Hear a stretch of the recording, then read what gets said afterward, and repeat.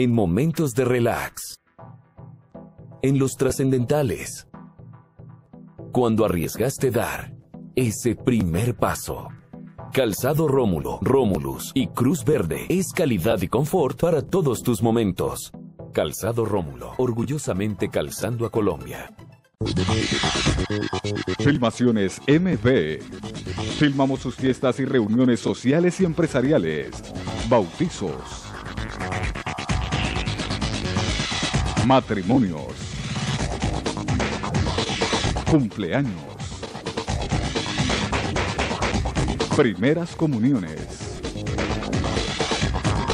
Teléfono 433-2210. Filmaciones MB. Todo en filmaciones.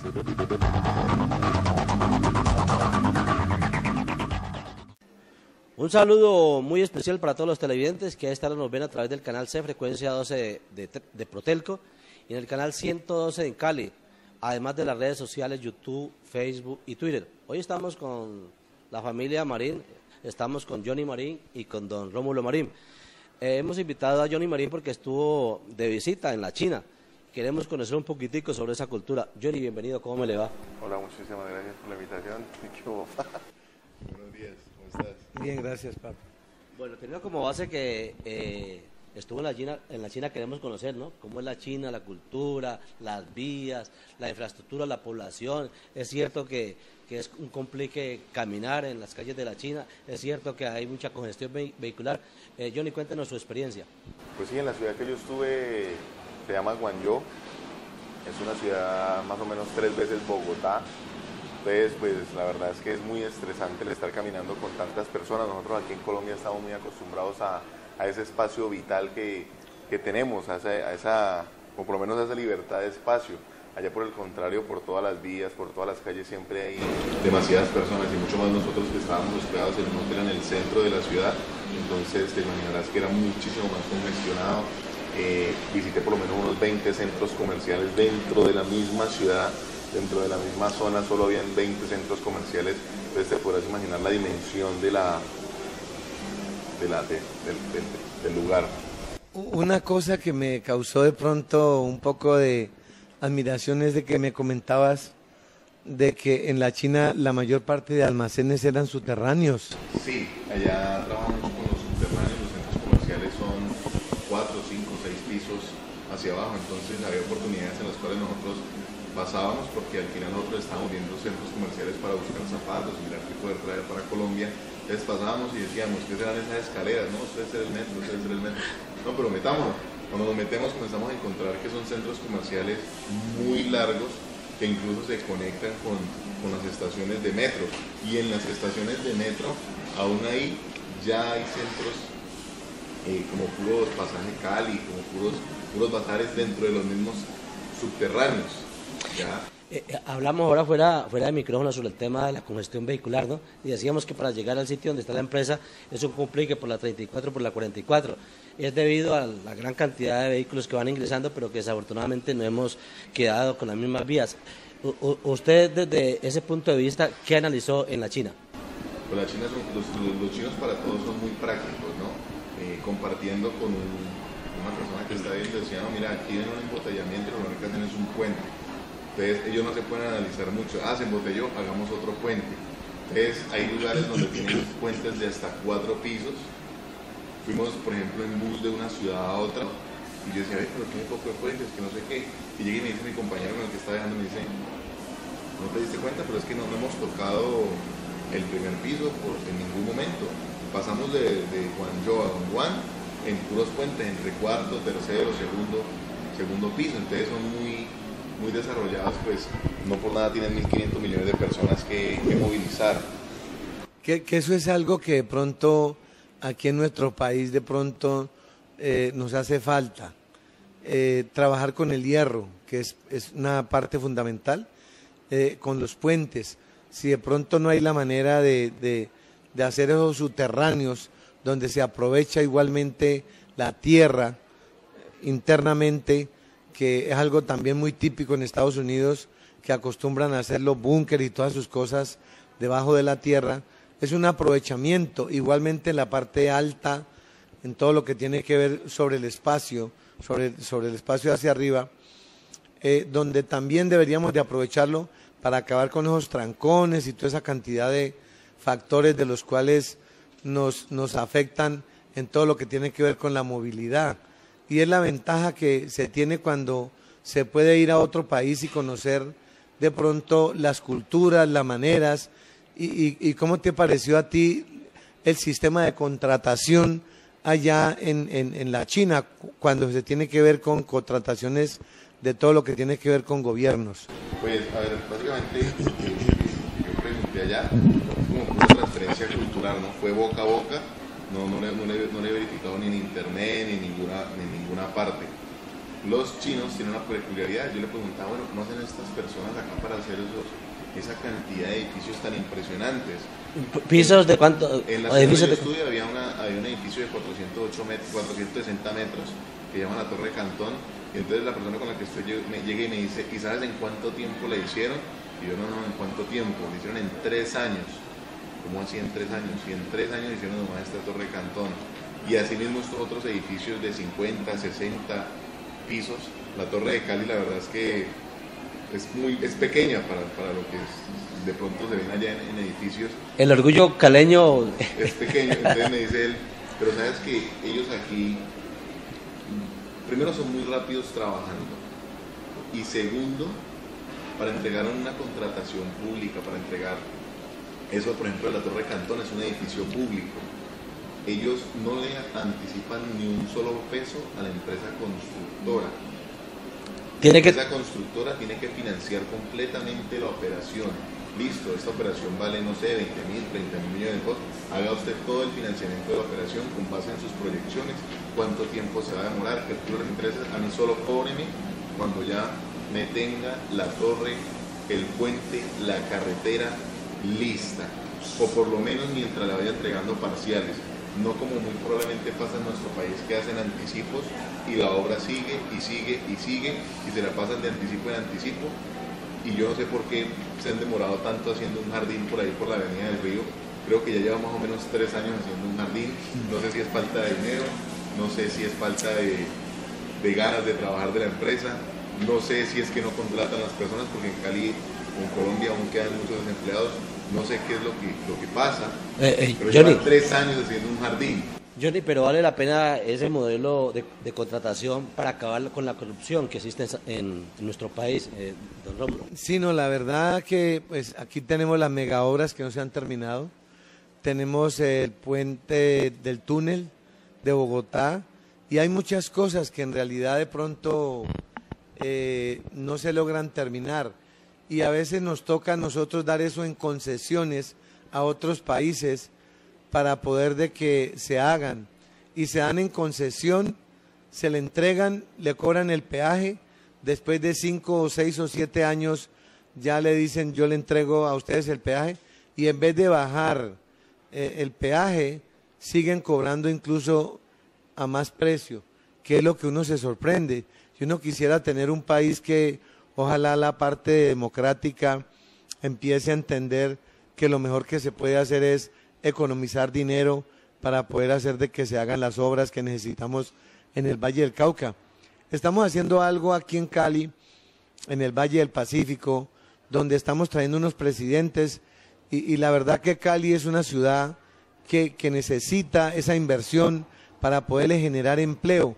Ojalá demos un ejemplo bonito aquí en Cali, aprovechando de que la gobernadora, el alcalde, el presidente, que está trabajando con mucha fuerza, buscando la manera de que venga gente a invertir aquí.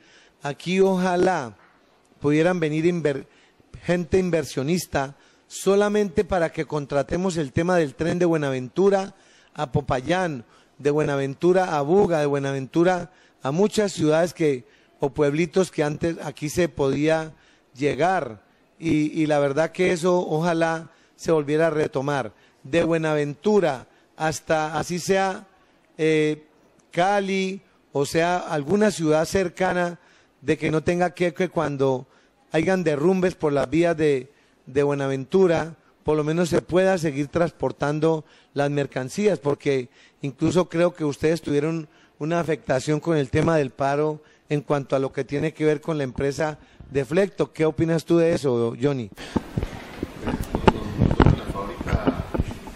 En la fabricación de las suelas, en toda la proveeduría de suelas de fábrica de calzado Rómulo solo utilizan materiales italianos. Nosotros tenemos eh, la conciencia de que es muy importante comprar en Colombia, pero cuando en Colombia no se hace el producto de la mejor calidad, sí nos toca salir a buscar al exterior para poder llevar zapatos de muy buena calidad a nuestros clientes. En ese orden de ideas, el 90% de las materias primas que nosotros utilizamos para la fabricación de suelas las traemos de Europa, de Italia. Como es mucho más costoso traer un contenedor de Cartagena a Cali en fletes terrestres, vale entre 5 millones y medio, 6 millones de pesos el contenedor, que traerlo de Europa a Cartagena. Nosotros hace tiempo optamos a traer todos los contenedores, así se demora un poco más, de Europa, Italia a Buenaventura buscando una economía en el flete terrestre. En esos 20 días de paro que nosotros tuvimos en Buenaventura, nos implicó primero bajar la producción a la mitad, porque muchas personas en el país comenzaron a escasearse de la materia prima. Segundo, salir a buscar con los distribuidores nacionales la materia prima que nos dejó de llegar por 20 días, lo cual implica que los costos son un 30 mucho más costosos que la materia prima que tú compras diariamente. Y, con lo grave para el empresario, que el empresario se le incrementa mucho el producto, entonces se va a ver afectado el usuario. Se incrementan los costos, no solo eso. De las cosas que, que llaman muchísimo la atención es que Sociedad Portuaria sí se afecta porque no entran más proveedores, pero no dejan de cobrar un solo día de bodegaje, no dejan de cobrar un solo día de devoluciones del contenedor. Nosotros tenemos 10 días libres el contenedor, normalmente lo racionalizamos en 3 días, llega acá el cuarto día, el quinto sexto día ya está nuevamente el contenedor en Buenaventura haciendo el drop-off, lo que quiere decir de que no costó nada, por el contrario, como estuvo 20 días para la mercancía, habiendo llevado hace 4 días, nos tocó pagar casi 3.800.000 solo en devoluciones de contenedor, porque eso vale 100 dólares diarios a partir del primer día. Fuera de eso, nos tocó pagar todo el tiempo que los contenedores estuvieron guardados en sociedad portuaria. Entonces ni siquiera se tocaron en decir, bueno, seamos consecuentes, hubo un paro, hubo una afectación, listo, todos perdemos, o solo pierde el empresario, o solo pierde la persona que compra la mercancía. Estas empresas, porque te digo, yo creo que Sociedad Portuaria no es, no es una empresa pequeña, pero los afectados son las pymes, las mipymes y las empresas, el motor de nuestro país que es la industria, que es el que realmente se afecta con estas situaciones. No, y viéndolo, y viéndolo desde el punto de vista, Johnny, que tú me estás diciendo, se da uno cuenta que no solamente a ti te tocó pagar allá casi tres millones y pico en lo que tiene que ver eh, con, el, con, el, con el tema de las devoluciones del, del contenedor. Las empresas igual se afectan porque los productos no llegan a tiempo. Por eso hablamos del tema del, del sistema tren, porque cuando se hagan pólizas de, cumplimiento con, muchas empresas del exterior, porque Cali se está preparando para, exportar, Cali se está preparando para importar y exportar, o sea, esa es una, como una especie de convivencia a nivel de, de Suramérica, donde estamos Chile, México, Perú y, otras, y otros países de los cuales en este momento pues estamos un poco alejados de él, como es el tema de Venezuela, pero se requiere de que las vías de antemano, cuando no haya una, haya la otra. Y hay de pronto containers que son muy necesarios y muy importantes que lleguen cumplidos. Les voy a dar un ejemplo. Eh, deja de llegarle posiblemente a una, a una, a una granja avícola, deja de llegarle eh, el container donde traen comida del exterior, que es lo que más le sorprende a uno que traen cosas del exterior, maíz, sorgo y no sé qué cosas, para alimentar las, las gallinas y, determinados animales. Y se queda uno sorprendido de ver que únicamente queda una sola vía. En estos días hubo un, un derrumbe a la vía de, de, de, Villavicencio y se paró y se paran. Y todas estas cosas que de pronto hacen falta como tal dentro de lo que tiene que ver con el atraso que hemos venido manejando debido a todo ese sistema de corrupción que se ha venido manejando desde hace muchos años, porque eso no quiere decir de que el que está ahora, que es nuestro presidente Juan Manuel Santos, es el que le ha tocado hacer casi que la mayor parte de la tarea. Primero, ya le dio a nivel del mundo de que aquí en Colombia no hay FAR.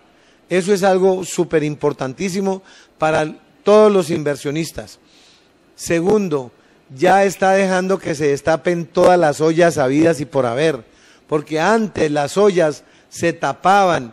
Ve, si vos decís esto, yo digo lo tuyo y así. Hoy en día, gracias a Dios, están, están, están cayendo personas que nos tenían o que han tenido a la gente aguantando hambre, sinceramente, y, y los inversionistas del exterior quieren venir y ojalá vengan y nos den la oportunidad, por lo menos a los fabricantes de zapatos, que aquí tenemos capacidad para fabricar 10 mil pares de zapatos en calzado Rómulo. Ya hoy en día conseguimos una bodega de 18 mil metros donde podemos generar más empleo de los mil que tenemos, podemos generar más y poder llegar a hacer 10 mil pares de zapatos, que es lo que queremos. Y aceptamos personas que quieran hacer inversiones dentro de lo que tiene que ver con la empresa de fábrica de calzado, Rómulo. Estamos en disposición para entidades americanas donde trabajé, conocí y me ha parecido de que allá hay unas tiendas, conceptos muy lindas donde venden la Mushroom, que es un zapato similar al nuestro, que les podemos suministrar mercancía a un buen costo. Y eso nos ayuda y nos apoyan a las empresas para que sigamos creciendo. Porque yo te digo algo, Estados Unidos ha sido el país el cual ha hecho de que muchos países progresen, como Brasil. Brasil es un país que lo apoyó muchísimo los Estados Unidos para que le hiciera zapato. Igualmente Japón también fue apoyado por los Estados Unidos con todo lo que tiene que ver con los televisores y todas esas cosas, vehículos. Y la China igual, siempre hacían la maquila. Y eso es lo que nosotros queremos de pronto ofrecerle a los americanos, a las entidades del exterior, europeas, que, que aquí en Cali, en el Valle del Cauca, tenemos eh, empresa que tiene para fabricar 10 mil pares de zapatos porque por día. Gracias por la anotación, 10 mil pares diarios, que, el, que no es muy común ver en estos países nuestros la, la, cantidad de pares de zapatos que se convierte interesante en los, en los comerciantes de, de otros países. Y ojalá lo podamos lograr hacer, porque eso es lo que nos va a ayudar a aportar todo lo que tiene que ver la generación de empleo. Yo admiro mucho a, Mao Zedong porque fue esa persona que, que, que se dio a la tarea de darle trabajo a todos, a todos los chinos, y lo ha logrado. Y fuera de eso, ha hecho de que su gente salga por el mundo también a, a colonizar, a producir, y, y, la verdad que en China se hacen productos también de muy buena calidad. La gente hoy en día habla de que la calidad de China es mala, no, hay buena, hay buena calidad también, sino que las personas que van allá a comprar, compran es cosas de, de una segunda característica. Sobre, sobre el tema que usted acaba de decir de la calidad del producto chino, yo estoy hablando con una persona que también trae productos chinos y me decía, lo que pasa es que uno se acomoda al presupuesto de los clientes, pero hay calidad tipo A, tipo B y tipo C. Dependiendo de la calidad, así hay el costo y, y también el producto le va a durar más o menos. Sí, esa es la característica que de pronto eh, ya hoy en día creo que los chinos no quieren como seguirles el fuego a aquellas personas que quieren enriquecerse a costillas de la fama de ellos, porque hay muchos que van allá, compran muy barato, lo venden y la fama que cogen los chinos es la mala. Producto es malo. Producto es malo. Y aquí eh, yo quiero informarle a la gente estamos en, en Jumbo. Hoy en día vamos a trasladar la empresa para Jumbo. Por, la empresa? por ahí en, unos tres meses, si Dios quiere. Eh, eh, no es fácil, pero pues ya vamos a invitar a la gobernadora, al alcalde, a la gente que tiene que ver con, con lo que es las empresas aquí a, nivel del Valle del Cauca, incluyendo... Don, Rómulo, me imagino que va a invitar al alcalde tanto de Cali como el de Jumbo. El de Cali y el de Jumbo, sí señor, porque el, el alcalde de Jumbo es la persona que nos está apoyando en que sigamos haciendo cosas buenas para seguir generando empleo.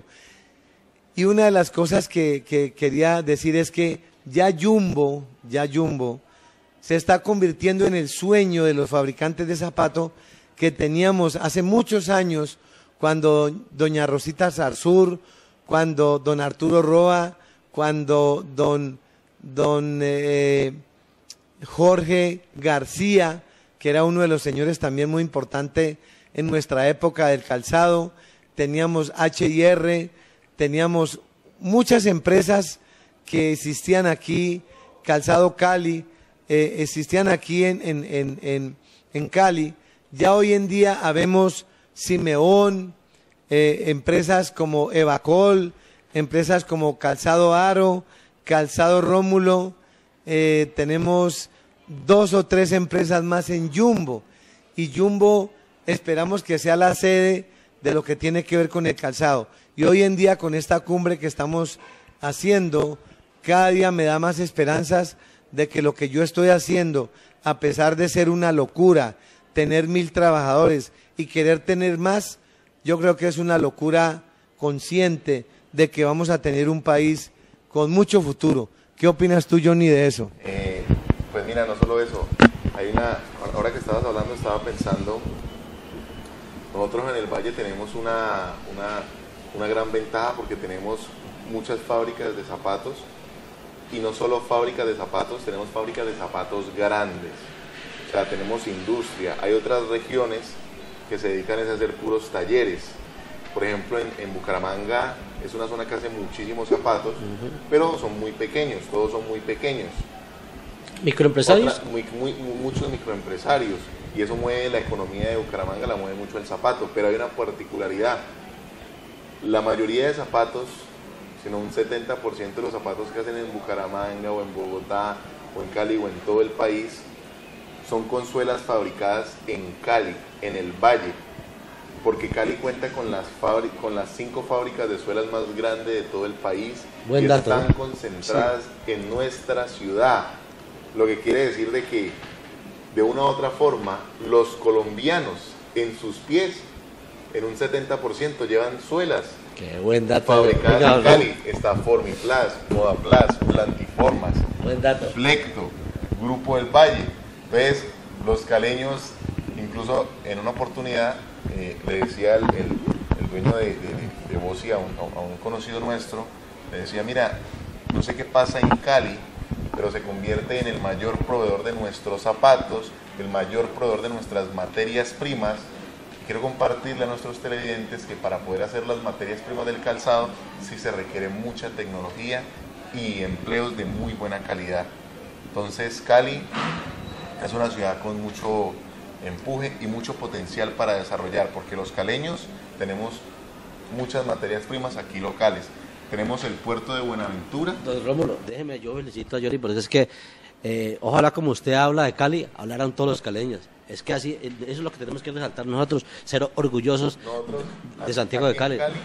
Tenemos a tres horas el puerto de Buenaventura en camión, los fletes son económicos. Si tuviéramos el ferrocarril, seríamos muchísimo más competitivos, no solo nosotros, sino completamente el valle.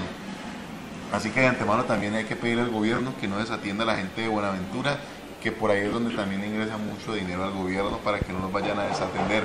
Otra cosa que me parecía a mí muy particular, conversando con un colombiano que lleva cuatro años en China, me decía, mira, Colombia cuando uno está en China se da cuenta de que Colombia, primero es un paraíso y segundo tiene todo, todo para ser una potencia. Johnny, hágame un favor, ya que habló de Colombia y hizo el paralelo con China, diferencias, las diferencias más grandes entre Colombia y China. Pues primero la cultura. Los, chinos por cultura, eh, ellos tienen, o sea, todo el mundo me decía, mira, tú puedes andar con el celular por todo China que no te van a robar. ¿Qué pasa si le roban celular a un chino? Pues anteriormente le cortaban la mano. Hoy en día ya eso no, pero, pero toda la gente viene como con esa cultura. Ellos tienen que trabajar para conseguir algo. Y eso se ve en el momento que, que tú coges un Uber, puedes coger un Uber, puedes coger un pirata, puedes coger un taxi. Nadie te va a poner un, un problema, nadie se va a molestar contigo, como a veces ve uno en nuestro país en las noticias que un Uber recoge a una persona y se molestan los taxistas o un pirata. Ya sabemos de que hay que evitar y hay que legalizar la mayoría de negocios, ellos lo que hacen es los legalizan. Es más sencillo legalizar Uber, legalicemos Uber. Hay piratas, pues que paguen impuestos, ¿ya? Entonces así todos nos, metemos la mano de y nos cuesta.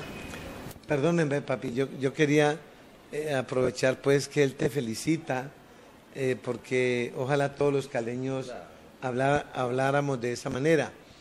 Yo no, yo, yo no solamente lo felicito, sino que yo me siento orgulloso de, de, dejar ocho hijos eh, pensando de la misma manera. Y ya un empresario en potencia, ¿no? Gracias a Dios. Uno, lo escucha, uno lo escucha y se da cuenta que tiene un conocimiento impresionante del tema. Sí, gracias a Dios mis hijos eh, se criaron conmigo en la empresa. Eh, son muchachos que les he infundido de que el arte de la zapatería es, es un arte bendecido porque da mucha mano de obra y a partir de mano de obra genera mucho empleo y genera la parte económica, es muy importante y no se requiere de que las personas sean estudiadas o que hayan ido a universidades. Aquí en Calzado Rómulo ya lo han felicitado desde México, donde dice que esta empresa es una empresa especial, es una empresa donde se le da la oportunidad a la gente a que aprenda a trabajar. Y si, y si yo fuera una de las personas que, que dijera que la zapatería es mala, yo no voy a poner a mis hijos a aprender zapatería. Yo, yo a mis hijos, a todos, ojalá aprendieran el arte de la zapatería, porque en, en, un futuro muy cercano, en dos, tres años, vamos a tener que seguir haciendo zapatos de una manera exagerada, pero tenemos que ponerle optimismo y que, y que nos apoyen la gente del gobierno, instituciones que de pronto nos dejen trabajar, nos den la oportunidad de que sigamos haciendo una empresa casi que informal, eh, buscando la manera de que se le pueda dar la oportunidad a venezolanos que estamos haciendo, a personas de la calle que también hemos metido aquí, a personas que son auditivas, a personas que el esposo dejó con dos y tres hijos. Estamos haciendo muchas cosas positivas que no están siendo el 100% dentro de todo lo que tiene que ver con la ley, pero les pagamos su seguridad social, les pagamos su, su salario mínimo, hay unos que ganan más del mínimo según su capacidad, pero estamos haciendo patria. Si, si lo van a causar a uno por, por, por querer generar empleo, por quererle dar trabajo a la gente, debido de pronto a una, unas normas que uno se queda sorprendido que se las hacen cumplir, pero a uno no se las cumplen. Les doy un ejemplo. Yo pago más de 150 o 160 millones de pesos a Café Salud o a unas instituciones de seguridad social y yo mando a, mis trabajadores a una situación de enfermedad o algo y, lo, mangonean y le maman gallo. La prestación de la salud en, nuestro país es pésima, es pésima. Tiene más trámites que médicos, ¿no? Tiene más trámites que médico. pero, pero hay una cosa que sí maneja muy bien la salud, me da pena decírtelo, y, esa es una forma casi que perfecta. Es el sistema de contabilidad. Te vas a pasar un día y, te cuento que te están llamando, mire, acuérdese. Le coloca el mensaje de, le coloca un mensaje de texto un, día antes y le dice, vea, mañana hay que pagar. un mensaje de texto y te ponen intereses. Sí, si tú no pagas, primero, dejan de atenderte la gente y segundo, te cobran intereses por no atendértelos. Entonces, esas cosas... Si usted va enfermo, grave, usted o un familiar suyo, a que lo atiendan, la cantidad de trabas que le colocan para, para atenderlo. Inclusive hay mucha, mucha gente, desafortunadamente, por eso es que se llama el paseo de la muerte, porque lo llevan de, de centro en centro hasta que desafortunadamente la persona fallece. Sí esas son las cosas que de pronto eh, no son justas. Igual pasa como cuando se robaron una millonada y que para la casa o para la finca y con los mejores amigos jugando dominó, ruleta y si es que ponen a jugar pues, pero... de cuello blanco, Entonces todas esas cosas son las que este país verdaderamente necesita que por favor los mandatarios busquen la manera de, de poner empresas, o sea, hay mucho congresista, hay mucho senador, hay mucho representante a la Cámara. Los invito a que coloquemos empresa, alguien que, que tenga un dinero para que hagamos sociedad, para que abramos una empresa de calzado en sociedad, para que se ubique con otras personas, para que sigan generando empleo. Es la mejor manera. Eso es una invitación que le hago a mucha gente que de pronto dice, pero bueno, es que no tengo nada más que hacer. Sí hay muchas cosas que hacer y si tiene cómo invertir para que el ferrocarril, que ojalá fuera lo número uno que se quisiera hacer para apoyar todo lo que tiene que ver con la industria del Valle del Cauca, sea eso. Porque anteriormente tenemos tren por todos lados. Iba tren a Buga, Tuluá, Palmira, iba tren Popayán. Los caleños tenían la costumbre de que los eh, domingos se iban de paseo a Buga, inclusive eh, gente también de otros municipios venían y visitaban a Santiago de Cali porque había esa facilidad. Además, además tenía la ventaja que veían todo el atractivo turístico que tiene el departamento del Valle del Cauca. Que hoy en día cada día se ha convertido en más bonito. Don Rómulo, pero es que yo tengo una pregunta y me pica la lengua con, con Johnny, y es que tenemos que aprovechar lo que él estuvo en, la China, ¿no? O sea, dos interrogantes. Primero, ¿qué tal las mujeres de la China? Hay, deben haber mujeres muy bonitas.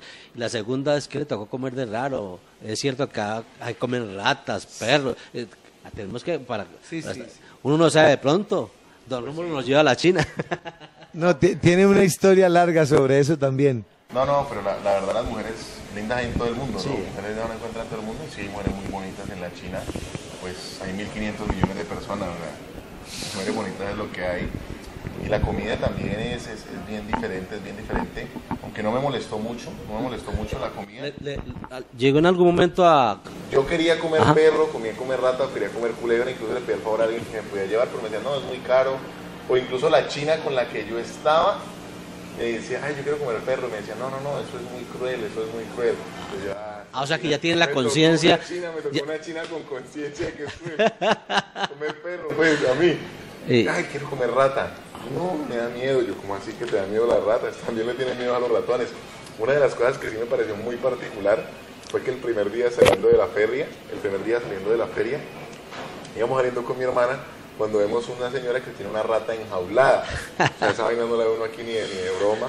Y lo más increíble, estaba promocionando una, una especie de espantarroedores que con activarlo la rata se alejaba, torturando esa rata ahí. Nosotros veíamos eso y decíamos, Dios mío, a mí no me gustan los ratones, pero tampoco para torturar ese animalito ahí. Eh, eh, ¿Tienen algún conocimiento en la China de lo que es eh, Colombia y sobre todo lo que es el Valle del Cauca y la cultura del baile? ¿La salsa también se baila en China? Ellos, ellos allá, la China casualmente con la que yo estuve, eh, cuando no, yo bailo salsa con un profesor cubano que no sé qué, ella ah, bailaba salsa. Incluso en bailando salsa fue que conoció al esposo y yo, yo le digo a ella, mira que yo soy de Cali y Cali es la ciudad de la salsa por excelencia en Colombia, es donde los mejores bailarines de salsa salimos y todo esto, pero hay algo que sí me, llamó mucho la atención de, la China para, para, compartirles, es que tengo entendido que China en el idioma de ellos significa centro del mundo. Ellos son mentalizados de una u otra forma que van a ser el centro del mundo. Son muy, muy comunitarios eh, y trabajan mucho en equipo para para luchar contra el mundo. Este cuento yo lo estaba echando a una persona, le decía, eh, la semana pasada, esta semana un sacerdote, yo le decía, pero es increíble que los chinos en pleno siglo XXI crean que China es el centro del mundo, o sea, eso no tiene lógica, cuando todo el mundo sabe que Colombia es el centro del mundo. Ecuador, Ecuador, ¿no? Ecuador. Colombia, ¿no? Ecuador es la mitad del mundo, pero... Ah, la mitad del mundo. Es el ombligo del mundo, sí. Pero no, pero hay algo entonces ahí nace una, una conversación muy particular con José y me dice, no, no, no, el centro del mundo es Medellín, porque él es paisa. el, centro del mundo es Medellín. Entonces yo, le digo, bueno, padre, tiene como 80 años, bueno, padre, aprovechando que está aquí, ¿por qué Medellín se ha desarrollado tanto en Colombia y otras regiones? No, Medellín tiene metro hace más de 20 años, Medellín tiene una, una cultura ciudadana, tiene unas vías impresionantes. Y me dice, ¿Sabes por qué? Tiene mucho dinero, tiene muchas empresas. ¿Sabes por qué? Porque les tocó vencer la montaña. ¿Cómo así que les tocó vencer la montaña? No entendía esa frase, pero me, llamó la atención. Les tocó vencer la montaña. Porque Medellín no tiene los mismos recursos, según me, me comentaba él, no tiene los mismos recursos que tiene el Valle, no tiene los mismos recursos que tiene el Chocó. Entonces, ¿qué le toca a las personas que viven en esas condiciones? Comenzar a desarrollar su ingenio para poder salir adelante. Ya Es lo que- mismo le pasa al Japón, a la China y a muchos otros países que nacen sin recursos y son potencias mundiales. Suiza no tiene cacao, no cultiva para nada cacao y hace los mejores chocolates del mundo. Esa vaina es paradójica, no es, no es entendible. Sí, a, a nosotros nos da, eh, Johnny, de pronto pesar de ver que el valle es una cosa plana. Nos sale más económico el, el tema del ferrocarril. Tenemos a tenemos donde se hacen aquí los rieles, el acero. Tenemos muchas cosas que verdaderamente nosotros podemos aprovechar. Ojalá este video le sirva a estos inversionistas, a estas personas, para que pensemos de pronto en el tema del ferrocarril, que es muy importante para el Valle del Cauca, ya que hoy en día la gobernadora está muy empeñada en hacer que ese gran puerto de Buenaventura se convierta como un puerto de Miami. Cuando uno va a un puerto de otros países, uno se queda aterrado de ver los veleros, de ver esa cantidad de barcos, de buques. No, don Rómulo, y aparte de eso, que le mejoren las condiciones también a la gente del puerto, porque es que uno va al puerto y desafortunadamente por todos lados usted voltea a mirar, ahí se, no- se nota la pobreza la- de la comunidad de El Buenaventura. 60% de las importaciones o el dinero que se mueve en el mercado exterior en el país lo mueve el puerto de Buenaventura y es imposible que en el puerto de Buenaventura no tenga agua potable, Agua potable. no tenga un hospital. Una de las claves que me decía uno de los compañeros allá chinos en, en China, me decía, mira, uno de los secretos de China es que ellos tienen puertos por todo lado. Ellos tienen puerto a la mano siempre. Entonces, como las ciudades son puertos, las ciudades con puertos son las que más rápido crecen. Yo le decía, pues eso pasa aquí en China, porque en nuestro país no, no es lo que está pasando en Buenaventura, llevan 20 años en paro por pedir agua potable. Sí, no, eh, es una cosa que, que de pronto, que de pronto aquí nosotros en vez de apoyar, por lo menos en Casanar, estos sitios donde sacan el petróleo, en vez de, de apoyar verdaderamente a esa gente y que vivan como verdaderamente necesitan vivir bien. Igual pasa con Buenaventura. En Buenaventura eh, se trata es como de explotar las cosas, más los nativos no viven en las condiciones que deberían de vivir. Pero todo tiene que ver mucho con la parte política también, que es lo que lo entristece a uno, de que aquí hay muchas carreteras que se pueden hacer con túneles, con puentes, por lo menos la carrera, o sea, tú me dijiste ahora algo, Johnny, que me dejó un poquito como, como positivo, y es lo que yo veo cuando estoy haciendo o modelando un zapato. Eh, yo estoy modelando un zapato y cuando veo que algo está malo, voy exactamente al punto que está malo. No me agarro a buscarle por otro lado. Pasa con las carreteras en, en- en Japón, en China, que donde ven que hay un trancón, miran a ver cómo dar la solución de inmediato. Por decir algo, aquí tenemos vías, eh, carreteras que se trancan. Pues busquemos a ver cómo hacemos un puente o una vía para que las cosas se mejoren. Y es lo que uno necesita aquí verdaderamente, gente que piense más en ver cómo hace una labor positiva y no ver cómo hace una labor de cómo llevársenos la plata, porque los afectados son la gente de bajos recursos, la gente pobre, lo hemos dicho siempre. Si usted va a, a una, a, un, a, un, a un garaje o a una bodega donde hay carros, motos descomisadas, y usted no va a ver sino motos de trabajadores, carros de mensajeros, carros de, de gente pobre, usted no va a ver allá una Cherokee, no va a ver usted allá guardada un, un- carro fino, ¿no? Porque Los vehículos, los vehículos que tienen allá son de eh, personas que tienen eh, poco poder adquisitivo. Y entonces eso es lo que verdaderamente afecta, porque no solamente se les paga a- a- por el rodamiento, se les paga por mantenimiento, se les paga por muchas cosas, sino que igualmente siguen afectando la economía porque quien se afecta es el trabajador. Igual que en la seguridad social, quien se afecta es el trabajador, porque los otros tienen, tienen eh, para Capacidad económica. ¿Y, y cómo llaman la tarjeta? Tienen de las tarjetas, Ah, la, la dorada. la- la- tarjetas eh, de Sura, o sea, especiales. Ah, tarjetas de- Sí, tarje- pre- prepagadas. prepagadas. A esos sí los atienden bien. ¿Cuándo va a ver usted una persona de prepagada haciendo cola? No, eso es rapidito, lo atienden rápido. Y entonces esas son las cosas que de pronto yo que le, doy gracias a Dios que tuve la oportunidad de vivir también en Estados Unidos, eh, eh, es, es, cuando uno nota esas diferencias tan enormes. Hay una cosa que me pasó a mí, yo me enfermé en Italia. Yo me enfermé en Italia ahora que estuve en febrero, me lastimé una rodilla y yo dije, no, esto me van a cobrar una cantidad de plata en euros, ¿cuánto vale aquí? Entonces yo llamé acá, uno compra un seguro cuando sale del país. Mentalmente está aliviando usted de pensar. No, pero y, yo compraba, y yo compraba un seguro. Yo como uno siempre compra el seguro para salir del país, uno siempre tiene un seguro para salir del país y mucho más la comunidad europea te exige tener este seguro.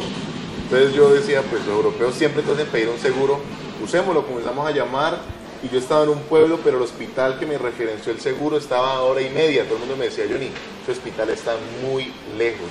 Más bien ven, vamos al, hospital local y que te reintegren el dinero en el seguro en Colombia o algo así. Porque no te venden una pasta, no te venden un medicamento, sino algo que allá llaman registro sanitario, que así lo llaman ellos allá. O sea, la famosa fórmula médica aquí. No, ni, siquiera, ni siquiera con eso. Tienes que tener un documento de que está en de alguna razón de ser. Entonces me lleva mi compañero para el hospital cuando lo primero que yo veo es, primero muchos inmigrantes, allá ven muchos musulmanes, muchas personas, muchos inmigrantes, y me quedé en la sala de espera con todos ellos. Cuando llegan me atienden, me, me, hacen inmediatamente la historia, me entregan como una cédula provisional para poder comprar medicamentos, para poder acceder a esto. Me dicen tranquilo, después llegan y me dicen y me toman una radiografía, después me atiende un doctor, después me atiende, ya el doctor me iba a agendar con un especialista, yo me enfermé un viernes, me dice lastimosamente, o me enfermé un sábado, perdón, fui un sábado, me dijo lastimosamente, a esta hora ya no tenemos el especialista, pero dime, el lunes a las 2 de la tarde tenemos una cita o el martes para estas causas. Tenemos un especialista. Aquí se demora hasta seis meses para la atención de un especialista. Y estamos hablando de que accedía a un, hospital público en Italia, porque ya no hay privados, todos los hospitales son, son públicos. Cuando llega listo, yo no, no puedo porque tengo que salir, solo deme doctor, ¿qué hago para, calmar el dolor? Me dice, no, pues dele mucho hielo y tómese esto, ta, ta, y bueno, nos fuimos a comprar la Cuando fui a salir del hospital, me causó mucha curiosidad que me dice, no, no tienes que pagar nada. Y yo, ¿por qué? No, porque estás en un país eh, que tiene como acuerdo. No lo entiendo bien, me decía el señor, mira, no entiendo bien, pero estás en acuerdo con, con que tienes medicina inicial gratis por cierto tiempo aquí. No, no por prepagada. El gobierno italiano fue el que le pagó al doctor. Subsidiado. subsidiado el gobierno, italiano. La medicina sí me tocó comprarla, pero la radiografía, la consulta médica, la atención, incluso el especialista lo yo pagaba el gobierno italiano. Entonces es increíble que este tipo de cosas las en el, en el primer mundo y dice, Dios mío, es impresionante cómo en nuestro país tenemos tan deteriorado nuestro sistema de salud. ¿Qué es lo que pasa? ¿Ves que aquí los europeos tienen más dinero o qué? Eh, eh, Johnny, yo estoy muy agradecido con usted, estoy muy agradecido con don Rómulo. Yo creo que esta charla ha sido muy amena y me quedan de mi parte dos, solamente dos interrogantes. Eh, en primer lugar, ¿cómo está controlando la natalidad en, en la China? ¿Cuál es la forma para controlar la natalidad? Y la segunda, el nivel de pobreza en la China, ¿cómo es? Con eso culminaríamos. Mira, hay, una cosa particular. Primero, ya vendía China permite dos, dos, dos hijos. Dos hijos. Todo, lo que yo te digo es como eh, transferencia cultural. No lo he verificado ni en Google, ni en Internet, ni nada. Solo charladito, charladito como esta, como esta entrevista. Eh, ellos tienen el tema mucho del machismo. Entonces los chinos tienen prohibido que el doctor o el hospital o cualquier persona en la clínica le diga si es niño o niña lo que va a tener ahí la, la pareja. Sí, lo que Dios les mandó hasta el momento. Simplemente saben si está bien, o las ecografías son para saber si está bien o no están bien. Eh, entonces, en ese orden de ideas pueden tener dos hijos hoy en día porque ya están quedando como sin población. Y segundo, con respecto al tema de la pobreza, la ciudad que yo fui fue la, es la tercera economía de China, eh, también por transferencia cultural. Yo le preguntaba, bueno, ¿cuál es lo menos que gana aquí un chino? Por ejemplo, ¿cuánto gana este muchacho de McDonald's? Le preguntaba yo al compañero, me dice, mira, yo te aseguro que él ahí no está trabajando por menos de 3 mil renminbis o yuanes. ¿En plata colombiana haría? Un millón y medio. Entonces yo decía, venga, ¿cómo así no se supone que China tiene la mano de obra más baja del mundo? dos salarios mínimos en Colombia. y eso es lo que usted es McDonald's. ¿Cuánto gana un operario? No, estos ganan un poco más. ¿A cuánto ganan? No, por lo menos unos 4 mil renminbis. ¿Cómo se 4 Dos millones de pesos Sí, allá aparentemente manejan la economía por ciudades, entonces tienen un salario mínimo muy alto, igual las cosas son muy costosas. Cuando tienen un salario mínimo tan alto, las cosas son muy costosas. Ahora, ¿qué me dice? Vas a encontrar ciudades en China donde ya trabajan es por dos pesos, tres pesos o hasta por la comida. Ya el lugar donde yo estuve en, temas de pobreza sí se ve mucho porque estuve compartiendo la, en el apartamento de un amigo. Eh, él paga como dos millones y medio de arriendo, cinco mil renminbis y es un lugar muy pequeño, es como por lo menos eh, la mitad de mi casa.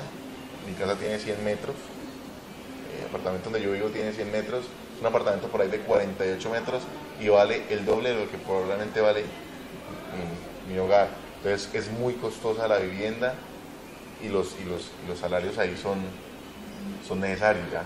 Por, por eso es que la gente dice que Colombia es un vividero súper espectacular, ¿no? Es un paraíso, un paraíso. La fruta para nosotros es muy económica, ya la fruta es costosísima. Creo que lo más caro que pudimos comer fue fruta. O sea, cuando va uno a la galería y dice, no, quiero esta fruta, quiero esta fruta, cuando uno pensó, pagó 50 mil en fruta. Y yo, Dios mío, ¿en qué momento pagamos 50 mil en fruta? Pues ya ahí con la, con la registradora, no, pues ya compremos. Y aquí en nuestro país usted va a la galería y saca un banano en 200 por un banano 100 Dejamos, dejamos caer o perder la naranja, los limones, la guanábana los bananos, los plátanos, los dejamos perder por la misma problemática de que se dio la plata para muchas carreteras y esas, y esas platas están en los bolsillos y fuera de eso están en otros países. No están hechas las carreteras, sino que están en los bolsillos de muchas personas a las cuales se les ha girado el dinero. Y a veces uno dice que pues no tiene tanto la culpa el mismo presidente, sino que las comitivas que, que, están alrededor son las que hacen cosas que no deberían de hacer. La verdad que yo te agradezco eh, a ti por la entrevista que nos hiciste hoy. Eh, quedo muy agradecido. Esto nos sirve a todos para que se enteren y se den cuenta la información de lo que se está haciendo y lo hago yo con mucha satisfacción porque he mandado a mis hijos a la China.